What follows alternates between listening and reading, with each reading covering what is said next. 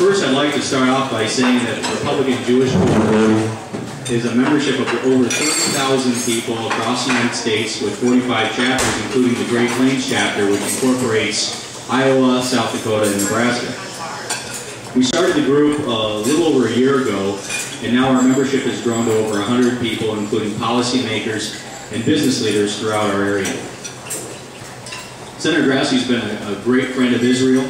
He's been a good conservative in Washington that we can rely on for Iowa's needs and also for a better United States. So would you please welcome Senator Grassley.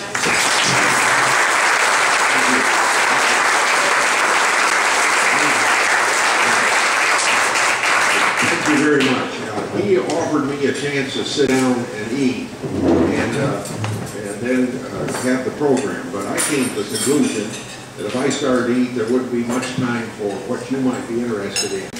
Uh, I, I've got a few words to say, but I want to tell you that I want you folks to set the agenda because I think with such a large turnout here, much larger than I have at most political events in Iowa. And I will visit about Israel, and I'll visit about our domestic economic uh, policy. Uh, in regard to uh, Americans for Israel, people of any religious faith for Israel. I see it as something very much in the national security interest of the United States from two standpoints. One, we have uh, we have a goal of making sure that we promote values around the world. Do we do a good job of it? I suppose sometimes we do, and sometimes maybe we don't. But we have a goal of promoting American values around the world. And it seems to me that Israel shares those values with us. So the extent to which we have mutual values working together is going to accomplish more. One of those values, or maybe another point, would be promoting democracy and Israel is the only democracy. We hope we have another democracy coming in the uh, in the uh, arena uh, of Iraq when it matures, and hopefully they're in the process of doing that. But outside of that, the only democracy is Israel. So if we want to promote democracy, we ought to have friendly relations with Israel. But our national security is one of the main reasons for a good working relationship with Israel because national security is the number one responsibility of the federal government.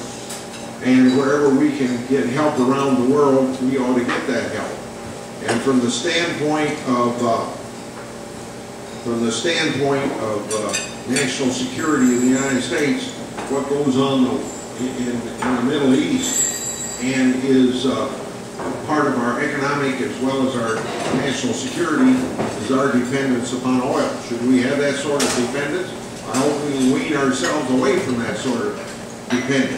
But it's very much a concern of ours to make sure that we have friends within that nation and, and friends we can operate with to protect our national security, economic issues as well.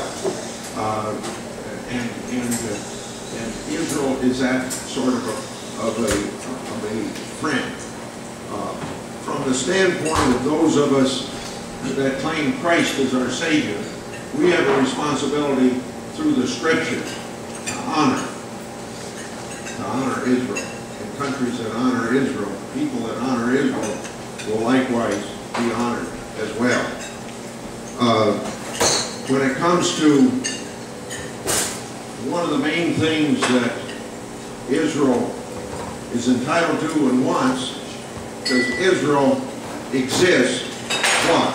Because the United Nations, in Declaration, May 1948, recognized Israel and made decisions beneficial to Israel, and I think beneficial to the rest of the world at a time when we should have all been embarrassed of what happened before, during, uh, World War II.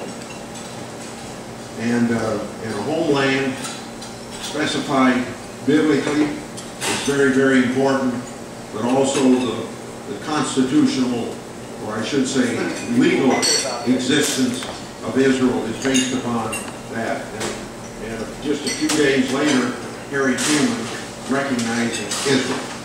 So we don't have to worry about the legal status of the country of Israel, even though people are always questioning that legal status. What we have to be concerned is making sure that that legal status is preserved, because uh, with- without the support of the United States and uh, and a few other friendly nations around the world, there's a lot of people that would like to wipe Israel off the face of the earth. From that standpoint, the threatening of Israel almost every day is something that we all have to take into consideration. People that say that the United States ought to push Israel to make peace. Peace is based upon trust. So that's going to be the trust between Israel and neighbors. It's not sentimental. It works. For 30 years between Israel and Egypt. For 15 or more years between Israel and Jordan. And I think they're being invited to the peace conference in September going on, and it is uh, going on in Washington between Israel and the Palestinians is very symbolic. If it can work once, it can work again, build upon that trust. Israel will sacrifice for peace, but they want to make sure that it's a long-lasting peace and that borders are secure. Those things will have to be negotiated. And we should be supportive of that negotiation, but we should not be in a position of pushing one country into something that, that, that doesn't have a peace based upon follow up with any questions or observations or even disagreement with anything I've said to this point.